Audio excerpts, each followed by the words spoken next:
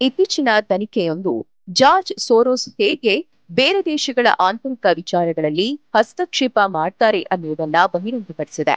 ಈ ಮಾಹಿತಿಯನ್ನು ಸಾಬೀತುಪಡಿಸುವ ಘಟನೆ ಬ್ರೆಜಿಲ್ ದೇಶದಲ್ಲಿ ನಡೆದಿದೆ. ಸೋರೋಸ್ ಮತ್ತು ಅಮೆರಿಕದ ಬೇಹುಗಾರಿಕಾ ಸಂಸ್ಥೆ ಎಫ್ಬಿಐ ಸೇರಿಕೊಂಡು ಬ್ರೆಜಿಲ್ ದೇಶದಲ್ಲಿ ಕಾನೂನು ಬಾಹಿರ ಸೆನ್ಸಾರ್ಶಿಪ್ ಜಾರಿಯಾಗುವಂತೆ ನೋಡಿಕೊಂಡಿದೆ. ಇದಕ್ಕಾಗಿ ಅವರು ಬ್ರೆಜಿಲ್ ದೇಶದ ತೀವ್ರವಾದಿ ಎಡಪಂಥೀಯ ಸರ್ಕಾರದ ನೆರವನ್ನ ಪಡೆದಿದೆ ಅಂದ್ರೆ ನಿಜಕ್ಕೂ ಆಶ್ಚರ್ಯಾದರೆ ಇರುವುದಿಲ್ಲ. ಕೆಲವೇ ತಿಂಗಳ ಹಿಂದೆ ಮಾಜಿ ಅಧ್ಯಕ್ಷ ಬೋಲ್ಸೇನಾರೋ ಅವರನ್ನ ಬ್ರೆಜಿಲ್ನ ನ್ಯಾಯಾಲಯ ಅನರ್ಹಗೊಳಿಸಿತ್ತು. ಇದು ಬಹಳ ಮುಖ್ಯ. ಭಾರತದ ಪ್ರಧಾನಿ ನರೇಂದ್ರ ಮೋದಿ ನಂತರ ಗ್ಲೋಬಲ್ ಲೆಫ್ಟ್ ಲಿಬರಲ್ಗಳನ್ನ ಅತ್ಯಂತ ಹೆಚ್ಚು ದ್ವೇಷಿಸುತ್ತಿದ್ದದ್ದೇ ಬೋಲ್ಸೇನಾರೋ ಅವರನ್ನ. ಸೋರೋಸ್ ಮತ್ತವರ ಸಮಾನ ಮನಸ್ಕರ ಲೆಫ್ಟ್ ಲಿಬರಲ್ಗಳು ಹೇಗೆ ಮೋದಿ ಅವರನ್ನ ಕೆಳಕ್ಕಿಳಿಸಬೇಕೆಂದು ಬಯಸಿದ್ದಾರೋ, ಅದೇ ರೀತಿ ಇದೇ ಗ್ಯಾಂಗ್. ಬೋಲ್ಸೆನಾರೋ ಅವರ ಹಿಂದೆಯೂ ಬಿದ್ದಿತ್ತು. ಇಲ್ಲಿ ಸೋರೋಸ್ ಅಂದ್ರೆ ಕೇವಲ ಅವರೊಬ್ಬರೇ ಅಲ್ಲ, ಅವರಂತೆಯೇ ಚಿಂತಿಸುವ ಇತರ ಬಿಲಿಯನೇರ್ಗಳು. ವಿಶ್ವದ ಹಲವೆಡೆ ಹಂಚಿ ಹೋಗಿದ್ರು ಒಂದೇ ರೀತಿ ಚಿಂತಿಸುವ ಎಡಪಂಥೀಯರು. ಎನ್ಜಿಒಗಳು ವಿಶ್ವವಿದ್ಯಾನಿಲಯಗಳು, ಮಾಧ್ಯಮಗಳು ಎಲ್ಲವೂ ಸೇರಿವೆ. ಈ ಎಲ್ಲರೂ ಸೇರಿ ವಿಶ್ವದ ವಿವಿಧ ಸಂಪನ್ಮೂಲಗಳನ್ನ ಕಂಟ್ರೋಲ್ ಮಾಡೋಕೆ ಯತ್ನಿಸ್ತಾ ಇರುವುದಂತೂ ಸತ್ಯ. ಬೋಲ್ಸೆನಾರೋ ಬ್ರೆಜಿಲಿನ ಅಧ್ಯಕ್ಷರಾಗಿದ್ದಾಗ ಅತ್ಯಂತ ಜನಪ್ರಿಯ ನಾಯಕರಾಗಿ ಹೊರಹೊಮ್ಮಿದ್ರು.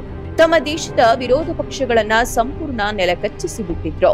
ಇದಕ್ಕಿಂತ ಮುಖ್ಯವಾದ ಅಂಶ ಅಂದ್ರೆ ಪ್ರತಿಪಕ್ಷದ ನಾಯಕ ಲೂಲಾ ಭ್ರಷ್ಟಾಚಾರದ ಆರೋಪದ ಮೇಲೆ ಜೈಲಿನಲ್ಲಿದ್ರು. ಹಾಗಾಗಿ ಬೋಲ್ಸೆನಾರೋ ತಮ್ಮ ಅಧಿಕಾರವನ್ನ ಮುಂದುವರೆಸುವುದಕ್ಕೆ ಯಾವುದೇ ಅಡೆತಡೆ ಇರಲಿಲ್ಲ. ಆದ್ರೆ ನಾವು ಅಮೆರಿಕದ ಬೇಹುಗಾರಿಕಾ ಸಂಸ್ಥೆ ಸಿಐಎ ಶಕ್ತಿಯನ್ನು ಅಷ್ಟು ಸುಲಭವಾಗಿ ತಳ್ಳಿಹಾಕಲು ಆಗುವುದಿಲ್ಲ ಪ್ರತಿಪಕ್ಷ ಬಹಳ ದುರ್ಬಲವಾಗಿದ್ದರಿಂದ ಬ್ರೆಜಿಲಿನ ನ್ಯಾಯಾಲಯವನ್ನೇ ಪ್ರಮುಖ ಪ್ರತಿಪಕ್ಷದಂತೆ ಬಳಸಿಕೊಂಡು ಬಿಟ್ಟಿತ್ತು ಅದರ ಪರಿಣಾಮ ತಕ್ಷಣಕ್ಕೆ ಆಗಿಬಿಟ್ಟು ಬಿಡ್ತು ಎರಡ್ ಸಾವಿರದ ಇಪ್ಪತ್ತೊಂದರಲ್ಲಿ ಇದ್ದಕ್ಕಿದ್ದಂತೆ ಬ್ರೆಜಿಲ್ ನ್ಯಾಯಾಲಯಗಳು ಲೂಲಾನನ್ನು ಬಿಡುಗಡೆಗೊಳಿಸಿದ್ವು.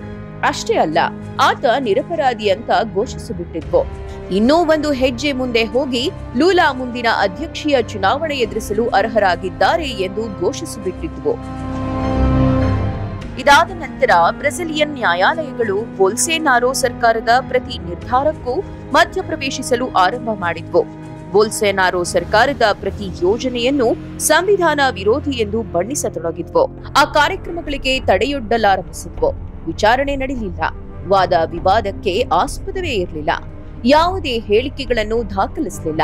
ಪ್ರತಿಪಕ್ಷದ ನಾಯಕರು ಆಡಳಿತ ಪಕ್ಷದ ವಿರುದ್ಧ ನೀಡಿದ ಸಾರ್ವಜನಿಕ ಹೇಳಿಕೆಗಳನ್ನೇ ಸಾಕ್ಷಿ ಎಂದು ಭಾವಿಸಿ ಸರ್ಕಾರದ ವಿರುದ್ಧ ತೀರ್ಪುಗಳನ್ನ ನೀಡಲಾಯಿತು. ವಿರೋಧಿಗಳು ಮಾಡಿದ ದ್ವೇಷ ಭಾಷಣ ಹಾಗೂ ಅವರು ಹರಡಿದ ಫೇಕ್ ನ್ಯೂಸ್ಗಳ ಆಧಾರದ ಮೇಲೆಯೇ ಬೋಲ್ಸೇನಾರೋ ಬೆಂಬಲಿಗರ ವಿರುದ್ಧ ಅತ್ಯಂತ ಪಕ್ಷಪಾತಿ ಆದೇಶಗಳನ್ನು ನ್ಯಾಯಾಲಯಗಳು ಹೊರಡಿಸಿದ್ವು.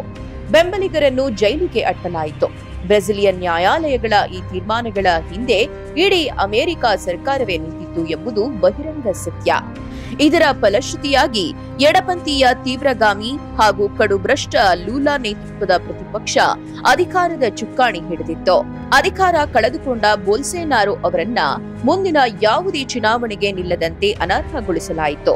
ಅಂತಿಮವಾಗಿ ಅಂತಾರಾಷ್ಟ್ರೀಯ ಲೆಫ್ಟ್ ಲಿಬರಲ್ಗಳು ಬ್ರೆಜಿಲ್ನ ಸಂಪನ್ಮೂಲಗಳ ಮೇಲೆ ಸಂಪೂರ್ಣ ಪ್ರಭುತ್ವ ಸಾಧಿಸಿಬಿಟ್ಟಿದ್ರು.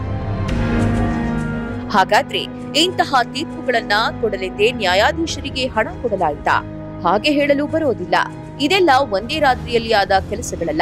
ಬ್ರೆಜಿಲ್ನಲ್ಲಿ ಅಮೆರಿಕ ಹಾಗೂ ಸೋರೋಸ್ನಂತಹ ವ್ಯಕ್ತಿಗಳು ಹಲವು ದಶಕಗಳಿಂದ ಹಣ ಹೂಡುತ್ತಾ ಬಂದಿದ್ದಾರೆ. ಹಲವು ತಲೆಮಾರುಗಳಿಂದ ಬ್ರೆಜಿಲ್ನಲ್ಲಿರುವ ತಮ್ಮ ಪರವಾದ ಮನಸ್ಥಿತಿಗಳನ್ನ ಸಾಕಿ ಸಲಹಿದ್ದಾರೆ ಈಗ ನಡೆದಿರುವ ಘಟನೆ ಈ ಹೂಡಿಕೆಗೆ ಸಿಕ್ಕ ಒಂದು ಸಣ್ಣ ಬಳುವಳಿಯಷ್ಟೇ. ಬ್ರೆಜಿಲ್ ದೇಶ ವಿಶ್ವದ ಹನ್ನೊಂದನೇ ದೊಡ್ಡ ಆರ್ಥಿಕ ಶಕ್ತಿ. ನಿಜ, ಅದು ಬ್ರೆಜಿಲ್. ಹಾಗಾಗಿ ಇಂತಹ ಘಟನೆಗಳು ನಡೆದಿದೆ. ಭಾರತದಲ್ಲಿ ಹೀಗಾಗಲು ಸಾಧ್ಯವೇ ಇಲ್ಲ. ಯಾಕಂದ್ರೆ ಇಲ್ಲಿನ ನ್ಯಾಯಾಧೀಶರು ಆಯ್ಕೆಯಾಗುವುದೇ ಸಂಪೂರ್ಣವಾಗಿ ಅವರ ಸಾಮರ್ಥ್ಯದ ಮೇಲೆ. ಇಲ್ಲಿನ ಜಡ್ಜ್ಗಳು ಭಾರತೀಯ ಜನಸಾಮಾನ್ಯರಿಗೆ ಉತ್ತರದಾಯಿಗಳು. ಇಲ್ಲಿ ವಿದೇಶಿ ಹಣ ಪಡೆಯುವುದಕ್ಕೆ ಯಾವ ಪರಿವಾರವೂ ಆಡಳಿತ ನಡೆಸುತ್ತಿಲ್ಲ ಎಂಬುದು ಕುಚೋದ್ಯತ ಮಾತಂತೂ ಅಲ್ಲ.